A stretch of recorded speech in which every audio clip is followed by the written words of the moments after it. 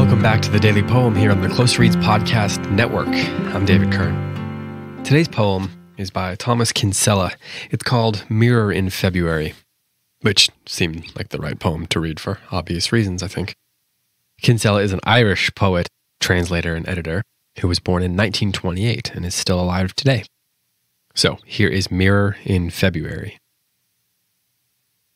The day dawns with scent of must and rain, of opened soil, dark trees, dry bedroom air. Under the fading lamp, half dressed, my brain idling on some compulsive fantasy, I towel my shaven jaw and stop and stare, riveted by a dark, exhausted eye, a dry, downturning mouth. It seems again that it is time to learn in this untiring, crumbling place of growth to which, for the time being, I return. Now plainly, in the mirror of my soul, I read that I have looked my last on youth and little more, for they are not made whole that reach the age of Christ. Below my window, the awakening trees, hacked clean for better bearing, stand defaced, suffering their brute necessities. And how should the flesh not quail that span, for span is mutilated more? In slow distaste, I fold my towel with what grace I can, not young and not renewable, but man. So here's my question for you, those of you who are listening to this podcast. Do you find this a depressing poem? it's funny how many poems and how many stories and how many um, works of art that are related to February are considered depressing. Those of us who are teachers know that February is, despite being the shortest month, actually the longest month. Um, it's when the, the doldrums set in, and it takes a lot of persistence to, to keep going. I suspect this is true for most people in general as they're enduring the ongoing onslaught of winter, each of us to varying degrees, depending on where we live. But many people, when they read this poem, find it depressing. It's about the passing away of youth, obviously. But I'm really taken by those last few lines. In slow distaste, I fold my towel with what grace I can. Not young and not renewable, but man. In the book The Making of a Poem, a Norton Anthology of Poetic Forms, this poem is actually included in a section meant to explore the elegy. It gives a number of different poems.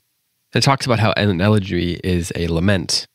Quote, it sets out the circumstances and character of a loss. It mourns for a dead person, lists his or her virtues, and seeks consolation beyond the momentary event. End quote. And then it continues a little bit later. The elegy is a crucial formal link with the history and tradition of public poetry, serving notice that there was once a past where the corridor between the public utterance of poetry and cultural assumptions were, was both charged and narrow. And then again later, in the traditional elegy, the grief the poet expresses is rarely a private one. More often, it is a cultural grief. The lamented and lost subject of an elegy is shown to be possessed of social virtues. And then again later, the elegy speaks to this.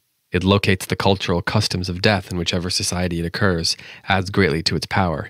The best elegies will always be sites of struggle between custom and decorum on the one hand, and private feeling on the other.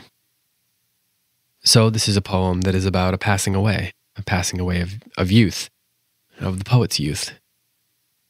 And the images are quite consistent in that. We've got dark trees, dry bedroom air, open soil, a fading lamp, a dark, exhausted eye, the downturning mouth, a crumbling place of growth, the trees which stand defaced. So all these images are consistent with that theme, and yet we get these trees, which, despite being hacked off for growth, have been hacked clean for better bearing. The cutting of the limbs allows them to bear more later. And that brings us back to what is the second stanza, the beginning of the second stanza.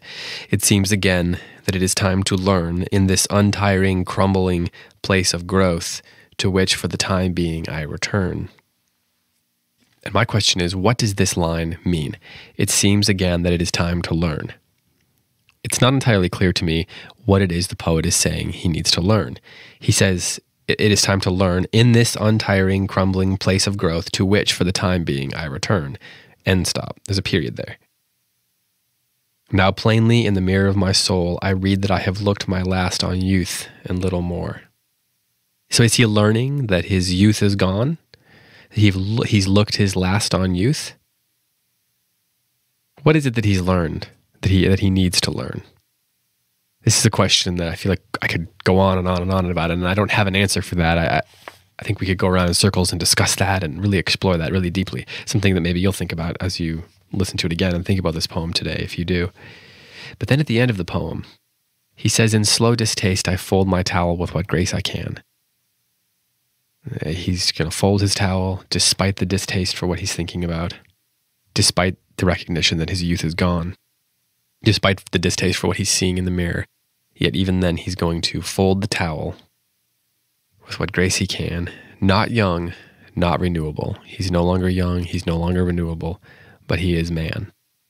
So, that final line there, I'm not going to say what I think for now, but I'm curious whether you think that this is a happy poem, a hopeful poem, or a depressing, sort of forlorn poem. You can let me know on social media or Twitter if you want. Um, but uh, the open endedness of some of the questions in this poem is what I really like about it. So, here one more time is Thomas Kinsella's Mirror in February. The day dawns with scent of must and rain, of open soil, dark trees, dry bedroom air. Under the fading lamp, half dressed, my brain idling on some compulsive fantasy, I towel my shaven jaw and stop and stare, riveted by a dark, exhausted eye, a dry, downturning mouth. It seems again that it is time to learn, in this untiring, crumbling place of growth to which, for the time being, I return. Now, plainly, in the mirror of my soul, I read that I have looked my last on youth and little more, for they are not made whole that reach the age of Christ. Below my window, the awakening trees, hacked clean for better bearing, stand defaced, suffering their brute necessities. And how should the flesh not quail that span for span is mutilated more. In slow distaste, I fold my towel with what grace I can, not young and not renewable, but man. This has been the Daily Poem. Thanks so much for listening. I'll be back tomorrow with another one.